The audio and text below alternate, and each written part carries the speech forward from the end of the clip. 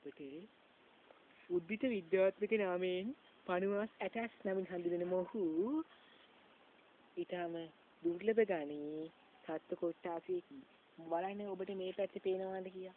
ඌ ඇලවි සිටින්නේ ඊටමත් සුළු ආකාරයක. මේ ඌගේ ඇස් පිට ඇති ආකාරය බාණයක් විතර සංවේදීද කියලා. ආ ආ දැන් ඇතිනේ.